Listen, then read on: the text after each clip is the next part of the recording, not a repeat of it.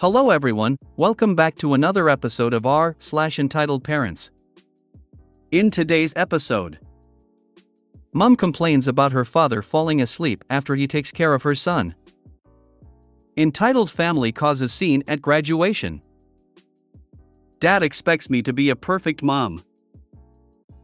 Before we get started, make sure to subscribe so you will never miss a video. So let's get started. Mom complains about her father falling asleep after he takes care of her son. I read this in The Guardian today and couldn't quite believe the audacity of this mother. Excerpt below. Twice a week, when I'm at work, Dad watches Theo, my son, who is 11, and feeds our dog Betsy, a 12 year old Labrador who still has a lot of energy. But Dad often falls asleep at mine. Theo says he doesn't like to wake up his grandpa, and he's pretty much old enough to look after himself. But if dad's offered to come and cook Theo's dinner and keep him company, then falls asleep on him, what's the point in coming? When I get home, I'll ask Theo, how long has he been sleeping? Often it's after he's made their dinner and done whatever else I've asked him to help with. After the chores, he's zonked. So this woman's 76 year old dad comes over twice a week to look after her son, cook him dinner and do chores, all for free, and she has the audacity to complain that he falls asleep. Also, it's not like the child is a toddler, he's 11. If anything happens, he can wake his grandpa up or call for help. Some people. I'm 25 years younger than this man. I have an 11 year old grandson that lives with me. By the time I get home from work, fix supper, check his homework, walk the dog, most nights, I'm done. I'm heading to bed. Grandson can entertain himself, get ready for bed. He can wake me if he needs anything. This mom needs to get over it. I'm four years younger than you and have a three years old son. After work, play dinner, and bath, I'm beat by the time he is in bed.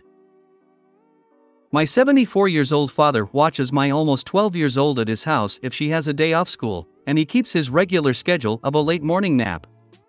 She's fully capable of watching TV while he naps and knows she can wake him if needed. This woman is beyond entitled.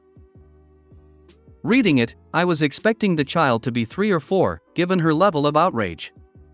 He's 11 and her dad has already done all the jobs? Geez. She even says he's old enough to look after himself.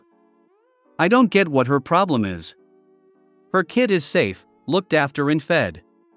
If I was her dad, I would tell her she is an ungrateful brat and I will just sleep at home from now on and she can pay for childcare. Considering the age of her father, this woman should be aware that plenty of 11 and 12 year olds in the 80s survived with a lot less supervision than that. He's doing everything she wants, including take care of an energetic dog, without pay. Let the man get some rest. Roll back to the 50s and 60s, and 11 year olds were not only unsupervised, but were supervising younger siblings. The kid is a tween. And what tweens and or teenagers like is not being bothered by adults. The mom sounds like a helicopter mom and the granddad is the cool one and trust his grandson. For crying out loud, the dad is 74 years old, so he gets tired more quickly than his own daughter does. My parents are 74 and 76, by the time 7 pm comes around, they are tired. When my niece was 11, we would leave her by herself. We'd set the alarm. She could still move freely in the house. Plus, they have cameras. So neither of us really worried about her being at home alone. All she did was sit there, text with her friends, watch videos on YouTube, and or play games on her phone. Now she's 15. But my brother, who is a single father, has cameras set up inside his house. So she can't do anything she's not supposed to. If the mom is worried that much, set up cameras in the house. Entitled Family causes scene at graduation. My SAL graduated medical school over the weekend. At the ceremony, a family sat behind us. They had a four year old girl who kept running back and forth, kicking our seats, playing with our coats and hair, whining, and coughing, etc. After about 40 minutes of this, my FAL started throwing the parents dirty looks and finally asked the girl and her mom to stop kicking his chair. That was all he asked. The woman, Karen, grabbed her child and said, Fine. This is my husband's graduation, but I guess I'll just have to miss it. Thanks a lot. And then she took her kid and left. The grandma, Karen Sr., stayed and was pissed. She said, Why don't you just deal with it? She's not feeling well. Our group ignored her. After the ceremony, the graduate husband came and found FIL and expressed his dissatisfaction at him making his wife leave. When again, no one asked her to leave. It ended up being a comically dramatic situation with Karen Sr. trying to shame us for not putting up with the kid. I very calmly asked these people, why don't you just parent your child? They had no answer and stomped away. As a former teacher and someone who loves kids, I get that kids will be kids. But parents are responsible for teaching their kids how to act in public. It's not okay for a child to be all up in other people's personal spaces. I very calmly asked these people, why don't you just parent your child? I remember years ago, a situation in a restaurant where a kid was just going wild and the mother non apologizing to the, the table next to us when the lady at the table said, It's okay. It's always sad to see kids that have no parents. Karen, of course, didn't get it and responded with, Oh no. We're his parents.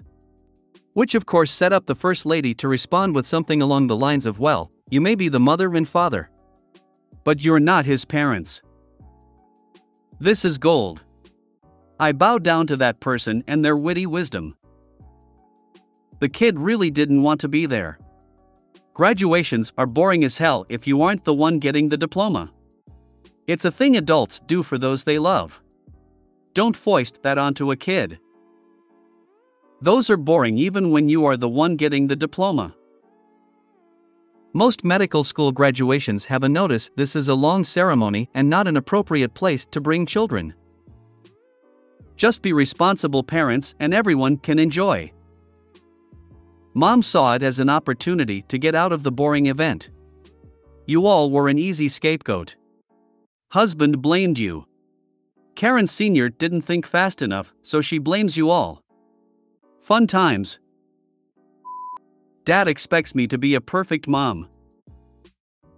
I grew up with a bipolar father who was finally diagnosed when I was 20. Growing up, I lived in constant fear of my father. For context, I was considered a goody two shoes and never disobeyed. He criticized my weight on a routine basis, he would blame me for ruining his day if I did anything wrong or made a mistake, as every child does while growing up. An example, he blamed me when he shattered the storm door glass because he had an extra coffee to carry in the cup holder because I asked for one since we were one vacation. I was 12 when this occurred. He often screamed explicitives at me for normal child needs because it inconvenienced him. He was emotionally, mentally, and occasionally physically abusive. Also abusive when I was 5, but I kept it to myself until my college years. He put me through so much childhood trauma. Ironically enough, my father believes that a person's childhood and how they were raised is a direct reflection of who they become as an adult. My dad won't apologize or acknowledge what he did, but expects me to be a perfect parent.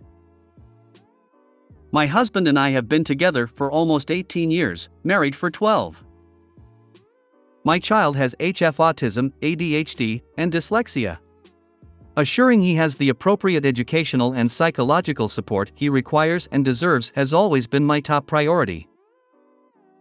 My father constantly finds something about my son's upbringing to critique. If my husband and I have a disagreement, raised voices but no screaming, in front of our son, my father tells us that our child is going to be messed up as an adult.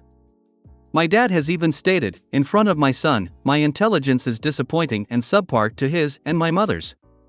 My dad even told my son that mommy is going to ruin his upbringing and permanently screw him up. My father always points out anything about me that he doesn't like. According to him, he cannot enjoy his golden years because my imperfections as a parent are damaging my son's potential. He then curses at me. Any advice or guidance is appreciated. Thank you in advance. For your own mental health, it might be a good idea to have little to no contact with someone who abused you as a child and continues to treat you very poorly as an adult. You let that man near your child? I sure would not. He deserves no contact. It's unfortunately common in cases of CSA, OP doesn't appear to have processed their own trauma. Why are you still in contact with your abuser? Why are you letting him keep on abusing you, and now your husband and son? Please, stop letting your dad near your son. Wow. If ever there was a reason to go no contact, this is it. If possible, get and stay as far away from him as you can. If you can't, at least limit how much time your son spends with him.